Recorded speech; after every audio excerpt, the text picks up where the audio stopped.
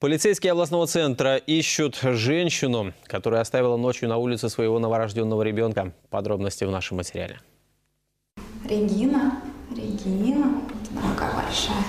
Конечно, большая. 2 килограмма, 660 граммов вес и рост 50 сантиметров. Регина улыбается во сне и подчиняется ласковым рукам доктора. В казенных ползунках и распашонке на молочной смеси с первого дня жизни. Мать выбросила новорожденную дочь этой ночью. Здесь просто пуповина отрезана на расстоянии 10 сантиметров от пупочного кольца и оставлена в свободном виде, перевязана обычной ниткой. Скорее всего, это были домашние роды. Врачи установили, ребенок родился 3-4 дня назад, но вместо детской кроватки ей пришлось лежать в хозяйственной коробке, завернутой в прокуренное одеяло с бутылочкой, до которой не в силах дотянуться, и мягкой игрушкой.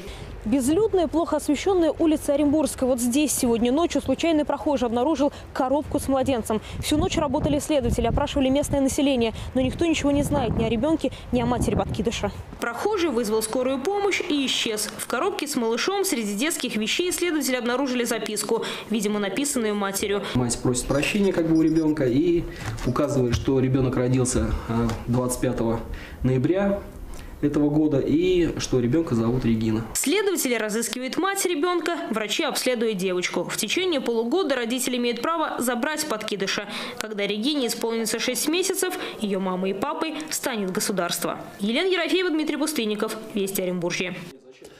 Просьба ко всем, кому может быть что-либо известно о личности матери младенца, сообщить информацию по телефонам дежурной части Следственного комитета. Номера вы видите на своих экранах.